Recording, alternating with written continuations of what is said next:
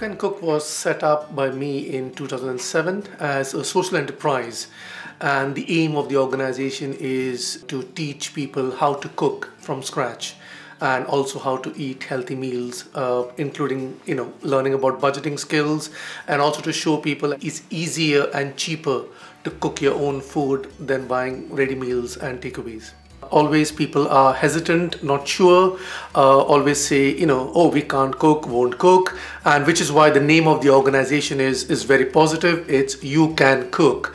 And so that's something I wanted to bring uh, straight away. So I have seen huge changes happening uh, among individuals, especially families with kids.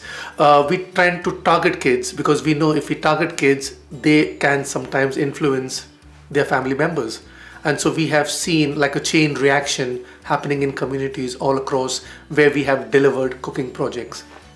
They love to see the raw ingredients and then the process it all goes through the preparation the tasting because a lot of them taste things that they maybe wouldn't taste at home. It's easy to say to mum or dad oh, no I don't like that I won't try. It but because their peers are tasting it they'll have a go so they, they get to taste it as well. And I think they're always very impressed with their finished product because it looks good it's nutritious and it's all very accessible stuff that they can get locally. So um, it's, it's been great to be involved with it and to see boys as well getting involved and, and having a go at the cooking. And then they take the recipes home and I've, I've often asked children have you tried? Have you? And they do. They keep making them at home. They show parents how to do it grandparents how to do it.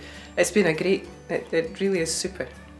We made chicken stir fry, we made spaghetti bolognese, fruit kebab. Nearly every week I've taken something home. I've also shared some with my mum and dad and my grandma and granddad and I would say their favourite one would be the curry and pancakes because they absolutely adored that one.